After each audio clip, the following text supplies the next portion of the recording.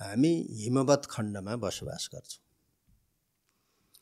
के भनेको छ हाम्रो शास्त्रीय प्रमाणले भने हिमवत खण्डमा देवताहरूको बास छ भन्यो। त्यो हामीले मात्रै भनेको होइन। हेर्नुहोस् है। त्यो त कसले भन्यो भने त्यो ईसाको सायद पहिलो शताब्दीतिरको कालिदासले पनि के लेख्यो भने अस्तित्तरस्याम दिशी देवतात्मा हिमालयो नाम नगाधिराज। पूर्वा परौतोय निधि बगाय स्थित पृथिव्याम इव मानदण्ड भन्ने यस्तो चाहिँ कुरा लेखे। त्यो देवताहरूको आत्मा बसोबास गरेको त्यो क्षेत्र पृथ्वीको मानदण्ड हो र त्यो पृथ्वीको मानदण्ड भनेको त्यो हिमवान राजाको क्षेत्र हो भने। अब त्यो हिमवान राजाको क्षेत्र भनेको अब हामी पछिल्लो समयसम्म आउँदाखेरि पनि के पायौँ भने यो उष्णकालीन र शीतकालीन दुई खालका दरबारहरू हुन्थे। पुरानो हामीले हेऱ्यो भने जाडोमा बस्ने क्षेत्र एउटा गर्मीमा बस्ने क्षेत्र अर्को। त्यसो हुनाले त्यो गर्मी समयमा जाडोतिर गएर बस्ने। जाडो समयमा अलि गर्मी हुने क्षेत्रतिर ओह्रालो झरेर बस्ने। कसैले त्यसलाई तल्ली उपल्ली पनि भन्थे। अहिले पनि हाम्रो समाजमा उधौली उभौलीको प्रचलन बाँकी नै छ। अब मान्छेले यसलाई उधौली उभौलीलाई त्यति गहिराइमा गएर हेरेनन् कि। त्यस्तो गहिराइमा गएर हेरेनन्। ए यो त हाम्रो उधौली पर्व हो भनौँ ए यो हाम्रो उभौली पर्व हो भनौँ त्यो पर्वका रूपमा मात्रै होइन। त्यसभित्र सभ्यताको कुरो छ। त्यसभित्र हाम्रो संस्कृतिको कुरो छ। त्यसभित्र हिजोकोदेखि चलिआएको परम्पराको कुरो छ। र यो क्षेत्रमा हिमवान राजाको राज्य थियो। त्यो हिमवान राजाको राज्य भएको भूगोलमा उनको शीतकालीन र उष्णकालीन दरबार पनि थियो। र त्यो शीतकालीन दरबार भएको ठाउँको लागि भागवतले एउटा कुरा के सङ्केत गर्यो भन्नुहुन्छ भने यज्ञ हिमालय क्षेत्रे मेनाया मिति सुश्रुमा भन। जब दक्ष प्रजापतिको यज्ञमा सतीदेवीले प्राण त्याग गरिन् प्राण त्याग गरिसकेपछि शिवजीले के गरे भन्दाखेरि त्यो यज्ञ विध्वंस आदि इत्यादि त्यहाँ वीरभद्रले गरे अब पुराणको कुरा। अनि सतीदेवीको शरीरलाई बोकेर उनी हिँडे। बोकेर हिँडे।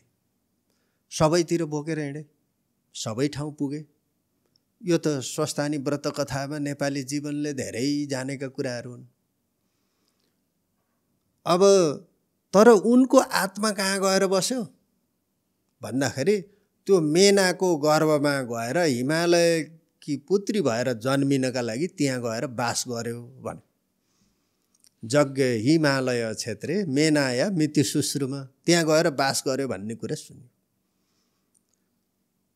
अब यहाँनिर एउटा रोचक प्रसङ्ग के पनि छ भन्नुहुन्छ भने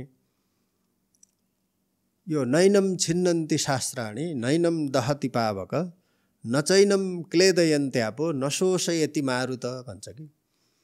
यो हाम्रो शरीर छ यो हाम्रो शरीरभित्र ईश्वरको बास छ आत्माको बास छ त्यो आत्मा भनेको ईश्वर हो।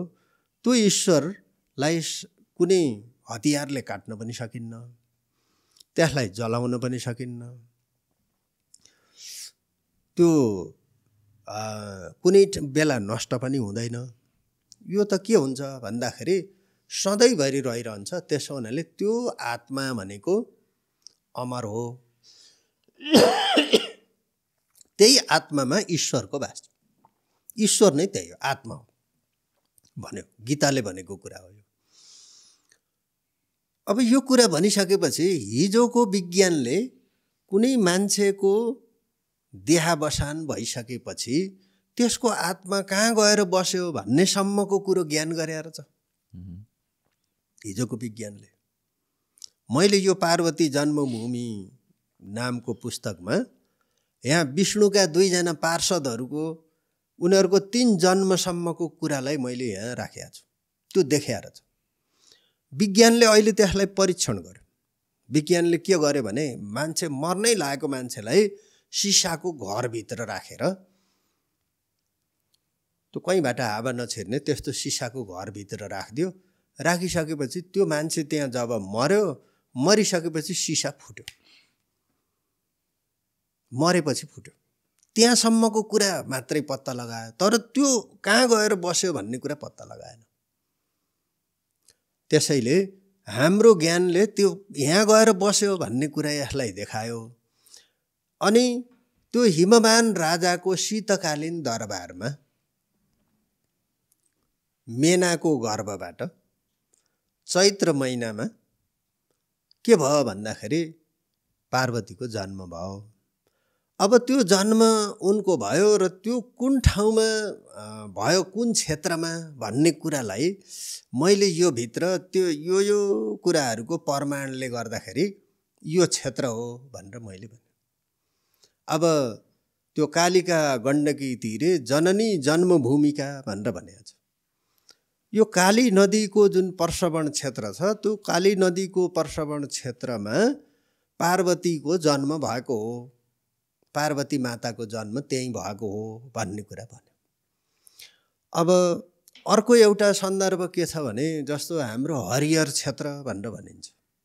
अब भूगोलका हिसाबले कसैले के कसैले के धेरै भनेका छन्। तर डक ज डक्टर जगमान गुरुङको एउटा अवधारणा के छ भन्दाखेरि उहाँले होइन यो त के हो भन्दाखेरि देवघाटदेखि उत्तर लागिसकेपछि त्यो हो। अनि त्यसमा फेरि उहाँले अर्को एउटा कुरा के थप्नु भएको छ भने गोसाई कुण्डदेखि पश्चिम उत्तर। गोसाई कुण्ड भनेको शिवजीको थान हो।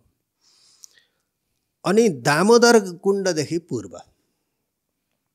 दामोदर कुण्ड भनेको त्यो विष्णुको हरि भनेको विष्णु हर भनेको शिव। यो दुईटाको चाहिँ बसोबास भएको क्षेत्र यो हो भनिसकेपछि दामोदर कुण्डदेखि पश्चिम उत्तर। अब के अरे गोसाई कुण्डदेखि पश्चिम उत्तर दामोदर कुण्डदेखि पूर्व। यो जुन भाग छ त्यो भाग भनेको देवताहरूको बसोबास भएको भूमि हो। अब त्यो भूमिमा पनि अरू अरूले कुन कुन भूगोललाई लिएर भने? अब अरू अरू लौकिक कथनमा पनि के आयो त्यसपछि अरू प्रमाणहरूले के के भन्दै गए त्यहाँका सम्पदाहरू के के कुराहरू छन् भनेर खोज्दै खोज्दै जाँदाखेरि मैले यसभित्र एउटा के पाएँ भने त्यो पर्वत जिल्लाको पाङ भन्ने ठाउँमा पार्वती माताको जन्म भएको हो भन्ने कुरा मैले मात्रै भनेको कुरा भएन। योगी नरहरिनाथले जयदेव पौड्यालले गोरखा ख्याइका महाकाव्यको भूमिकामा यो कुरो लेख्नु भएको छ। जयदेव पौड्यालले। अब कृष्णप्रसाद पराजुली शिशु भन्नेले कालन्जर क्षेत्रको बारेमा वर्णन गर्दाखेरि यो कुरो लेख्नु भएको छ। टिकाराम पौड्यालले पार्वती महाकाव्य लेख्दाखेरि त्यसको बारेमा लेख्नु भएको छ। बालकुमार छेत्रीले त्यो यसको बारेमा केही कुरा लेख्नु भएको छ। त्यस्तै गरेर हरिमञ्जुश्री जुन भोजपुरको हुनुहुन्छ उहाँले समयगाथा लेख्दाखेरि त्यो भित्र उहाँले यो यो कुरा अलिकति छिराएर लेख्नुभयो। भनिसकेपछि हिजो हाम्रा पौराणिक ग्रन्थहरूले मात्रै होइन रहेछ अहिलेको जीवन पद्धतिसँग जोडिएका पछिल्लो जीवन पद्धतिसँग जोडिएका मान्छेले पनि के गरेछन् भने ए होइन है त्यो क्षेत्रमा भएको भन्ने कुरा धेरै मान्छेले लेखेछन्। त्यसैले ती जो जो मान्छेहरूले लेखेका थिए ती लेखेका चिजहरूलाई प्रमाणको रूपमा राखेर अगाडि राखेर प्रमाण नभइकन बोल्न मिल्दैन प्रमाणका रूपमा अगाडि राखेर अनि यो ठाउँमा भएको हो भन्ने कुरा फलानु फलाना मान्छेले यसरी आफ्नो ऐमत दिएको हुनाले यो हुनुपर्छ एउटा कुरा। दोस्रो अर्को कुरो मैले त्यो जहाँनिर पार्वती जन्मभूमि भनेर अरू अरू मान्छेले या शास्त्रले पनि भन्यो त्यो भनेको वरिपरिका सम्पदाहरू के छन् भनेर खोजेँ फेरि मैले। यो भित्र बाइसवटा सम्पदाहरूको बारेमा मैले लेखेको छु बाइसवटा सम्पदाहरू छन्। ती बाइसवटा सम्पदाहरू जस्तो हामी पार्वती गुफा भयो त्यो पार्वती गुफा अहिलेदेखि अहिले मात्रै मान्छेले भनेको होइन कि। पार्वती गरो भनेर त्यहाँ भन्छन् पार्वती चौर भन्छन् पा पार्वती स्नानागार भनेर भन्छन्। गुप्तेश्वर गुफा भनेर कुष्मा सदरमुकामको नजिकै गुप्तेश्वर गुफा छ। त्यहाँ शिवजी अलप भएको भनेर मान्यता छ। अब राम सीता लक्ष्मण दशरथ समेत पुगेको भनेर शास्त्रीय प्रमाण हुने मोदी बेणी छ। त्यहाँ पार्वती गङ्गा भनेर पार्वती खोलो त्यस्तो खालको छ। मङ्गलदा नदी भनेर त्यो दशरथले अवभृत स्नान गरेको ठाउँ छ। शिव पार्वतीहरू बसोबास गरेको ठाउँ भनेर सिरपु भनेर भन्छन्। त्यो शिवपुरी छ। त्यहाँ बराहा बरैनीहरू आएर यसरी यहाँ बसेका थिए र तिनीहरू अहिले त्यहाँ केही समय बस्दा बस्दै त्यहीँ लोप भए अलप भएका हुन् भन्ने यस्तो मान्यताको छ। त्यो शिवपुरीको आसपासमा नन्दे खर्क छ। शिवको वाहन नन्दी हो। नन्दे खर्क छ। सती पोखरी छ कामधेनु छ। अब शैलजा भन्ने छ। शैलजा अहिले त्यहाँ शालिजा यस्तो नामकरण गरिया छ शैलजा छ। गरुडेश्वर भन्ने ठाउँ छ। त्यो गरुड त विष्णुको वाहन हो। त्यो विष्णुको वाहन बस्ने ठाउँ गरुडेश्वर यस्तो खालको नामकरण गरिएको छ। अब यी जुन नामहरू छन् यी नामहरू भनेका त्यो पार्वती जन्मभूमिको वरिपरिका सम्पदा हुन्। त्यो अहिले मान्छेले भनेको या अहिलेका मान्छेले मात्रै भनेका चिज होइनन् तर त्यहाँ लोकजीवनले ती कुराहरू सदियौँदेखि प्रयोग गर्दै गर्दै गर्दै आयो। तिनै कुराहरू नाम राख्दै आयो। त्यही कुराहरूको बारेमा लौकिक कथनहरू प्रचलित भए। त्यसैले यो पुस्तकको जिस्ट के हो भन्दाखेरि शास्त्रीय प्रमाणले यो यो कुरा भन्यो। कालिका गण्डकी तिरे जननी जन्मभूमिका। गण्डकीमा। जुन कुरा प्रमाणका रूपमा अरू अरू मान्छेले पनि भने तिनी कुराहरूलाई लिँदै त्यसपछि यो ठाउँमा हुनुपर्छ भन्ने कुरा यी प्रमाणहरूले पुष्टि गर्छ है भनेर देखाउने यसको खास थिम हो।